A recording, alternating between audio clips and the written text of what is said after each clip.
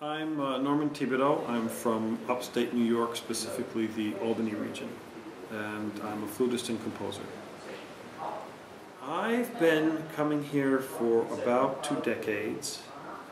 Um, I had heard about Wildacres from a fellow student back when I was in graduate school, and when I first came, it was a it was the summer just after I had gone to uh, attend. Uh, like a three-week owner-builder class at, uh, at Shelter Institute in Maine, and I was in a very do-it-yourself mood at the time. And I heard that Eldred Spell, who always, whose reputation I was familiar with, was going to teach an introduction to repair class. So that, it, it, wasn't actually a performance thing that brought me to Wildacres the first time, although I had by then developed a real curiosity about the Traverso. And I knew that they were having an introductory Traverso class and you could sign out a plastic instrument to use. So that was my other motivation. I was at that time entirely unfamiliar with uh, Stephen Preston and his teaching. Um, so I, I, I, came that year and I really loved it. And what to say, every year since I've come back, um, because of principally because of Stephen Preston's teaching, he just he has a way of describing the inner workings of what what makes piece of music tick um, on a very concrete and I don't want to say insightful because that's sort of an overworked word, but he really kind of like gets down to the basic elements in a way that uh, the only other thing person I can think of who, who does that in it's in a different way is, is Robert Dick actually, and so I, I keep coming back for uh, Stephen Preston. I haven't been every single year, but uh, for a while I was out of the country. But yeah, to always draws me back.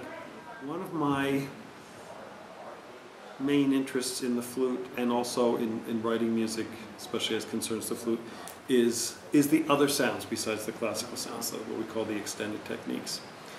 And I've been to a couple you know, retreat kind of situations that were uh, kind of more exclusively focused on that. And um, gee, the ones I really enjoyed, they're unfortunately not in business anymore. But I noticed when I came to Wildacres that there would be flutists performing that. And uh, one young player who did impressively, in particular, talking with her about it, it's like, gee, it's too bad we don't have a class or at least a little group to do some extended techniques. For, you know, we have we have such good musicians, and from time to time people would go perform something on an afternoon recital.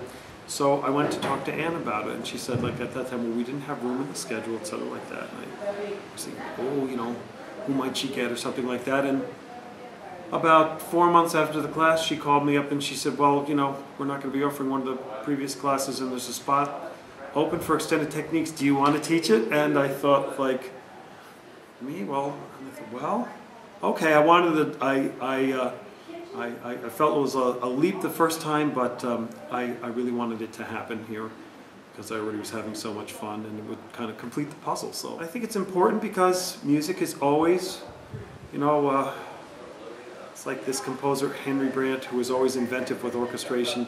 He'd say that we're going to keep the instruments we have, but we're going to add to them. You know, it wasn't it wasn't let's say about leaving the past behind because actually my my interests are kind of, you know, the present and the immediate future and the past because I really enjoy Baroque music too. Those are the those are the the musics on the flute that give me the most stimulation. I was talking with uh, some flutists about other classes that we'd been to, and what's fairly unique about this place is the combination of a high level and a relaxed atmosphere. Um, I'm talking about places where, let's say, the level was high, the atmosphere was definitely not relaxed, and uh, I think it allows things to emerge that wouldn't emerge otherwise. And uh, I also noticed during this visit there were people that, you know, I'd probably seen, my eye kind of remember them from previous years and I never happened to have a conversation with them, you know, and I just happened to sit, you know, next to them at lunch and uh, find out a, a, lot of interesting stuff. So that was, it's great how it uh, keeps unfolding. It's great to see old friends back here uh, year after year as well as new people.